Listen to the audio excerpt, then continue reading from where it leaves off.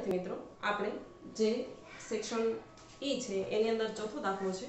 નીચેની માહિતી પરથી વર્ષ બે હજાર આઠના વર્ષને ધ્યાનમાં લઈ, આધાર વર્ષ તરીકે લઈ અચલ આધારે સૂચકાંક. બીજું, વર્ષ બે હજાર આઠ અને બે હજાર નવના સરેરાશ ભાવને આધાર વર્ષના ભાવ તરીકે લઈ સૂચકાંક ગણો. બે કોલમ વિદ્યાર્થીઓ આપેલા છે. આઠથી બે હજાર આઠથી માંડી, બે હજાર ચૌદ સુધી અને ભાવ એનો આપેલો છે.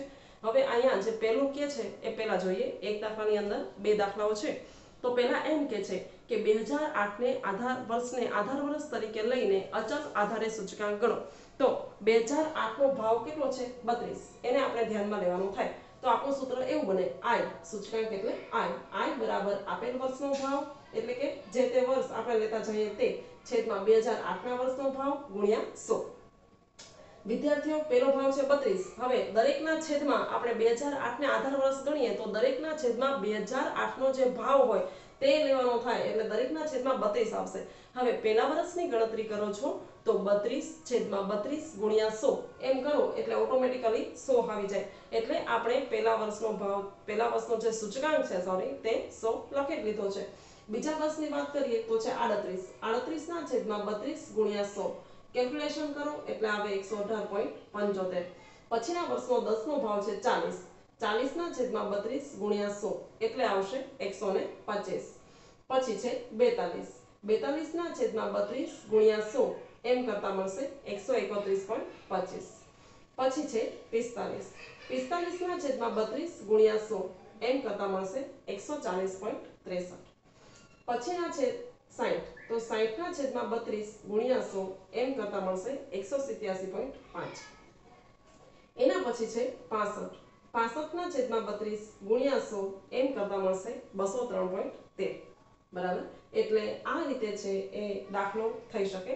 હવે જે બીજું છે, બીજામાં શું કહે છે કે વર્ષ બે હજાર આઠ અને બે હજાર નવના સરેરાશ ભાવને આધાર વર્ષ તરીકે લઈ સૂચકાંક ગણવાના છે. તો જુઓ, બે હજાર આઠમાં કેટલા છે? બત્રીસ. બે હજાર નવમાં કેટલા છે? આડત્રીસ. તો આપણે સૂત્ર લખ્યું કે બે હજાર આઠ અને બે હજાર નવના સરેરાશ ભાવ કયા કયા? બત્રીસ વત્તા આડત્રીસ. એની સરેરાશ લેવાની છે. કેટલા વડે ભાગવા પડે? બે વડે. એટલે આવશે પાંત્રીસ. તો પાંત્રીસ ને આધાર વર્ષ ગણીને સૂચકાંક બરાબર. હવે દરેકના છેદમાં અહીંયા સરેરાશને ધ્યાનમાં લેવાશે. કોના કોના સરેરાશ? બત્રીસ અને આડત્રીસની કે જે કેટલી આવી? પાંત્રીસ. બત્રીસ ને આડત્રીસની વચ્ચે પાંત્રીસ આવે, બરાબર? આવી રીતે સરેરાશ લઈને પણ શોધી શકો. તો હવે દરેકના છેદમાં આપણે પાંત્રીસ મૂકતા જશું, ભાવના છેદમાં અને દાખલો મળશે. બત્રીસ ના છેદમાં પાંત્રીસ ગુણ્યા સો. એમ કરતા મળશે એકાણું પોઈન્ટ તેતાલીસ. પછી આડત્રીસ છેદમાં પાંત્રીસ ગુણ્યા સો, એટલે એકસો આઠ પોઈન્ટ સત્તાવન. એના પછીના વર્ષની વાત કરીએ, તો ચાલીસના છેદમાં પાંત્રીસ ગુણ્યા સો. એટલે આવશે એકસો ચૌદ પોઈન્ટ ઓગણત્રીસ. એના પછી છે ભાવ બેતાલીસ. બેતાલીસના છેદમાં પાંત્રીસ ગુણ્યા સો. એમ કરતા આપણને મળે એકસો ને વીસ. પછી પિસ્તાલીસ છે. તો પિસ્તાલીસના છેદમાં પાંત્રીસ ગુણ્યા સો એટલે એકસો ને અઠ્યાવીસ પોઈન્ટ સત્તાવન. એના પછીનો વર્ષ છે. એનો ભાવ છે સાઠ સાઠના છેદમાં પાંત્રીસ ગુણ્યા સો એમ કરતા મળે એકસો એકોતેર પોઈન્ટ તેતાલીસ. એના પછીનો ભાવ છે પાસઠ. પાસઠના છેદમાં પાંત્રીસ ગુણ્યા સો એમ કરતા મળે એકસો પંચ્યાસી પોઈન્ટ એકોતેર. તો આવી રીતે, વિદ્યાર્થી મિત્રો, આપણે આ દાખલો છે એ કરી શકે આમાં બત્રીસ બધાના છેદમાં મૂક્યા. બે હજાર આઠને આધાર વર્ષ તરીકે ગણી. સૂત્ર મહત્વનું હતું કે આપેલ વર્ષનો ભાવ, છેદમાં બે હજાર આઠના વર્ષનો ભાવ. કારણ કે આપણને અહીંયા ચોખવટ કરેલી છે કે આધાર વર્ષ તરીકે બે હજાર આઠના વર્ષનો ભાવ પસંદ કરવો. એટલે દરેકના છેદમાં બે હજાર આઠનો જે હોય, બત્રીસ તે આવ્યું અને અહીંયા સરેરાશ લઈને ગણ્યું બરાબર છે? આ બંને રીતે આપણે અચલ આધારની રીતે સૂચકાંકો મેળવ્યા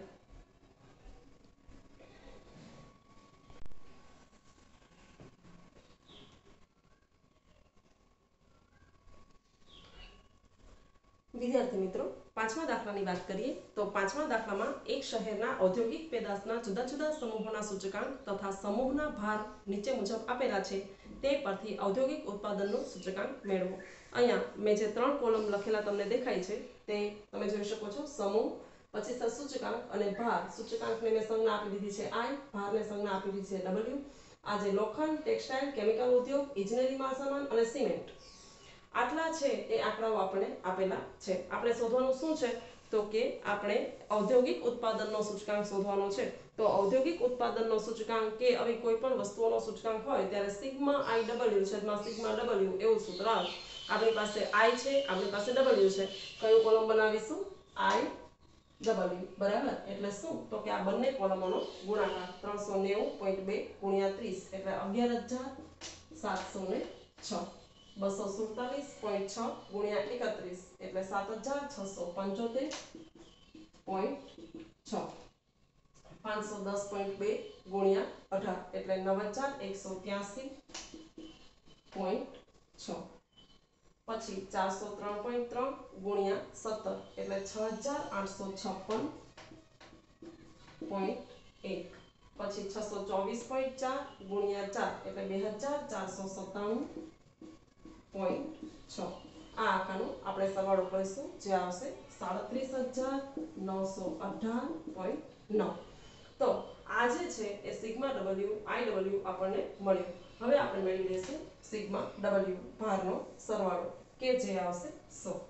બરાબર? સૂત્ર મૂકીશું આપણે. કયું સૂત્ર? તો કે ઔદ્યોગિક ઉત્પાદનનો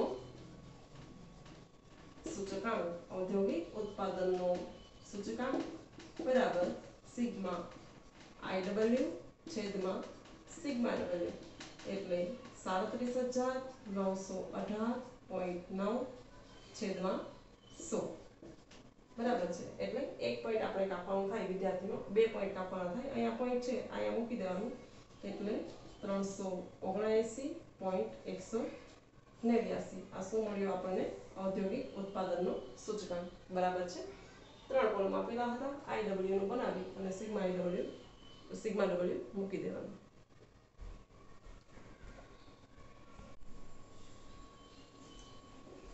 વિદ્યાર્થીઓ, દાખલા નંબર છ કરીએ. વર્ષ બે હજાર દસના સાપેક્ષમાં વર્ષ બે હજાર પંદરમાં ઘઉંના ભાવ સિત્તેર ટકા વધે છે. જુઓ, વસ્તુની વાત છે અહીંયા. એટલે મેં વસ્તુઓ લખી દીધી છે. પહેલા ઘઉં. એમાં ઘઉંના ભાવમાં વધારો કેટલો થાય છે? સિત્તેર ટકા. એટલે અહીંયા ભાવમાં વધઘટ ટકાવારી મેં લખી છે. તો સિત્તેર, એટલે વધારો થાય છે એટલે આગળ પ્લસ લખ્યા છે. ચોખાના ભાવમાં ચાલીસ ટકા વધે છે. તો ચોખા અને એમાં ચાલીસ ટકા ભાવમાં વધે, વધારો છે એટલે પ્લસ ચાલીસ લખ્યા છે. બાજરીના ભાવ પચીસ ટકા ઘટે છે. બાજરી પણ એ માઇનસમાં એટલા માટે લખ્યા છે કારણ કે એમાં ઘટાડો થાય છે. તેલના ભાવ ચાલીસ ટકા વધે છે. તેલ વધારો થાય છે એટલે પ્લસ ચાલીસ. ઘીના ભાવ પાંચ ટકા ઘટે છે. ઘી ઘટાડો છે એટલે માઇનસ પાંચ પછી છે, એમ કે છે કે જો ઘી કરતાં તેલનું મહત્વ ત્રણ ગણું તથા ચોખાનું બમણું હોય અને ઘઉં તથા બાજરી દરેકનું મહત્વ ચોખા કરતા બમણું હોય, તો ખોરાકની આ પાંચેય વસ્તુઓના સમૂહના ભાવનો સૂચકાંક શોધો અને તેનું અર્થઘટન કરો. હવે જુઓ, ઘી કરતાં તેલનું મહત્વ ત્રણ ગણું હોય, તો આપણે કોના માટે ધારવું પડે? ઘી માટે. તો ઘી માટે ધારો કે પહેલા એક ધારી લીધું, બરાબર? તો તેલ છે એના કરતા ત્રણ ગણું છે. એટલે તેલનું ત્રણ ગણું મહત્વ હોય, એટલે ત્રણ લખ્યું ચોખાનું બમણું હોય, ચોખા અહીંયા હોય, તો એનું ઘી કરતા બમણું, એટલે ઘીનું કેટલું છે? એક. તો ચોખાનું કેટલું હોય? બે. બરાબર? તથા બાજરી, ઘઉં તથા બાજરી, દરેકનું મહત્વ ચોખા કરતા બમણું હોય. હવે ચોખાનું કેટલું આવ્યું બે. તો બાજરી અને ઘઉં એ બંનેનું એના કરતા ડબલ. એટલે કેટલું થાય? ચાર ચાર. બરાબર છે? ફરીથી ઘીનું મહત્વ આપણે એક ધાર્યું, તેલનું એનું ત્રણ ગણું છે, એટલે ત્રણ આવે, બરાબર. પછી ચોખા છે, એનું ઘી કરતા બમણું છે. ચોખા કરતા ઘીનું બમણું છે, એટલે એકનું બમણું બે આપણે કરી નાખ્યા, બરાબર. હવે ઘઉં અને બાજરી, એ બંનેનું ચોખા કરતા બમણું છે, એટલે બે ના ડબલ ચાર અને ચાર.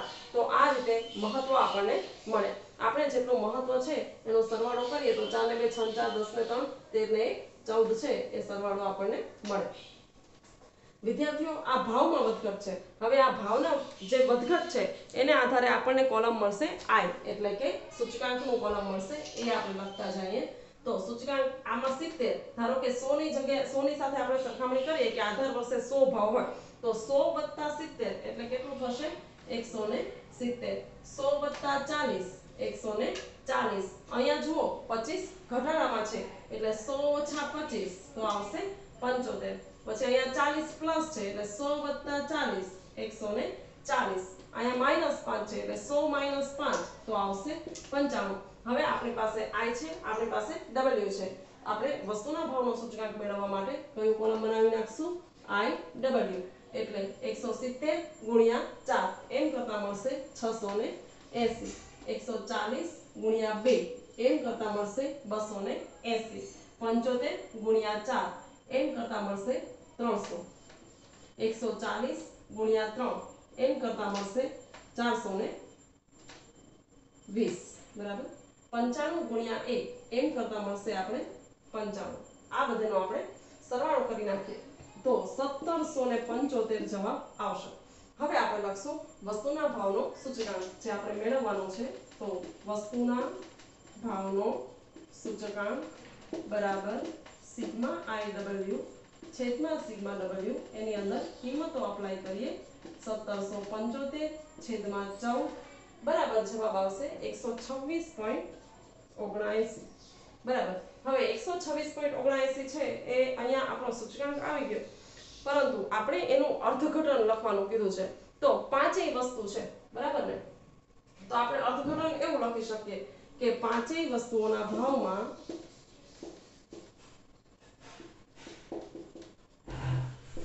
કેટલો તો કે એકસો ઓગણત્રીસ પોઈન્ટ ઓગણાએંસી. એને એમાંથી કેટલા બાદ કરીશું? સો. એટલે કેટલા આવશે? ઓગણત્રીસ પોઈન્ટ ઓગણાએંસી ટકા વધારો થયો છે. જુઓ, જ્યારે અર્થઘટન લખવાનું કીધું હોય, ત્યારે આપણી માટે આ બહુ અગત્યનું થઈ પડે છે.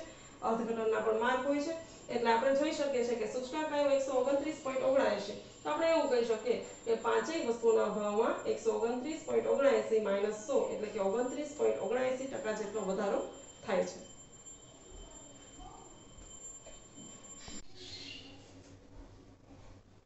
વિદ્યાર્થીઓ, ધોરણ બારની અંદર આપણે જે આંકડાશાસ્ત્ર વિષય છે તેમાં સૂચકાંકમાં આપણે સાતમો દાખલો ગણીએ. કામદાર વર્ગના માસિક વેતનની નીચેની માહિતી પરથી તેમના વાસ્તવિક વેતનની ગણતરી કરો.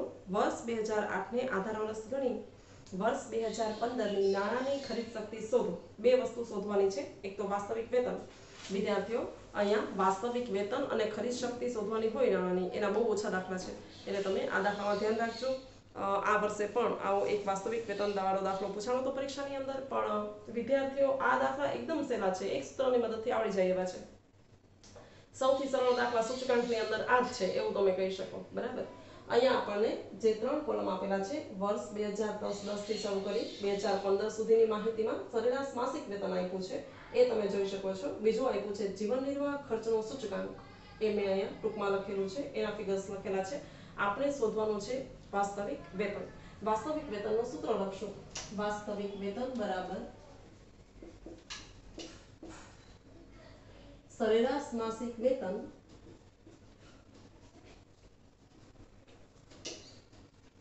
છેદમાં જીવન નિર્વાહ ખર્ચનો સૂચકાંક, ગુણ્યા સો. બરાબર? સરેરાશ માસિક વેતન જે આ કોલમ આપેલા છે, એના છેદમાં મૂકી દઈશું જીવન નિર્વાહ ખર્ચનો સૂચકાંક અને એને ગુણ્યા સો. તો પંદર હજાર છેદમાં એકસો વીસ ગુણ્યા સો, એમ કરતા આવશે બાર હજાર ને પાંચસો. અઢાર હજાર છેદમાં એકસો એંસી ગુણ્યા સો, એમ કરતા આપણને મળશે દસ હજાર. ઓગણીસ હજાર છેદમાં બસો પાંચ ગુણ્યા સો. નવ હજાર બસો અડસઠ પોઈન્ટ ઓગણત્રીસ વીસ હજાર છેદમાં બસો વીસ ગુણ્યા સો નવ હજાર નેવું પોઈન્ટ એકવીસ બાવીસ હજાર છેદમાં બસો પાંત્રીસ ગુણ્યા સો નવ હજાર ત્રણસો એકસઠ પોઈન્ટ સિત્તેર એના પછી છેલ્લે પચીસ હજાર છેદમાં બસો સાહીઠ ગુણ્યા સો નવ હજાર છસો એકાવન પોઈન્ટ આડત્રીસ બરાબર તો આટલા આપણે વાસ્તવિક વેતન છે એ બધા મળ્યા હવે બીજી કઈ વસ્તુ શોધવાની કીધી છે? તો કે વર્ષ બે હજાર પંદર માટે નાણાંની ખરીદ શક્તિ શોધો. તો આપણે સૂત્ર લખશું કે વર્ષ બે હજાર પંદર માટે નાણાંની ખરીદ શક્તિ બરાબર વિદ્યાર્થીઓ, જે નાણાંની ખરીદ શક્તિ છે એના સૂત્ર આગળ આપેલા જ છે. એટલે જે આપણે શોધવાની કીધી હોય એ પ્રમાણે સૂત્ર બનાવવું પડે.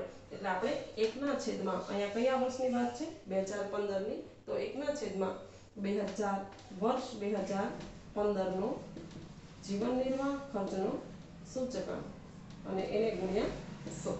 બરાબર છે? આવું સૂત્ર લખીશું. તો તમે જોઈ શકો છો કે આપણે રકમ ઉપરથી મળી જાય ને? બે હજાર પંદર. બે હજાર પંદરમાં સૂચકાંક કેટલો છે? બસો સાહીઠ એકના છેદમાં બસો સાહીઠ ગુણ્યા સો એમ કરતાં આપણને જવાબ મળશે ઝીરો પોઈન્ટ આડત્રીસ.